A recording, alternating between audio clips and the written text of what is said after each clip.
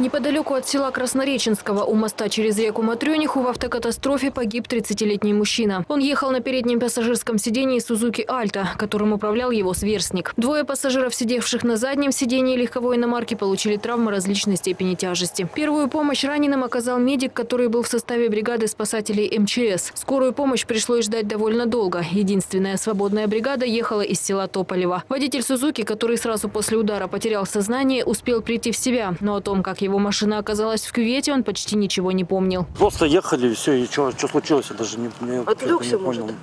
Наверное, я не знаю, он со стороны Илинки ехали. Сейчас вот здесь он в канаве. Большая скорость была.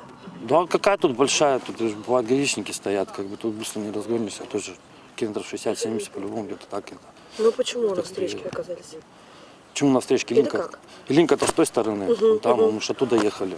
Он-то по своей полосе в канаве сидел. Один из пассажиров Альта, не дождавшись медиков, уехал на машине приятелей за родственниками. При том, что, судя по рассказам очевидцев, он был серьезно ранен. У молодого человека скальпированная рана головы. Состояние еще одного раненого было значительно хуже. Катетер стоит внутривенный, и я ему сделал кетанов 90 миллиграмм.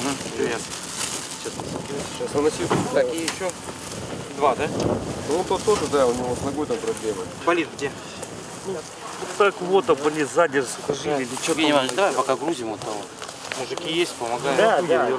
Так вот больно? Водитель Toyota Land Cruiser, с которым столкнулся хэтчбэк, ехал в сторону села Ильинка. Он утверждал, что красный автомобиль, который двигался в противоположном направлении, без явных на то причин, оказался на встречной полосе. Никого не обгонял, за ним машины ехали.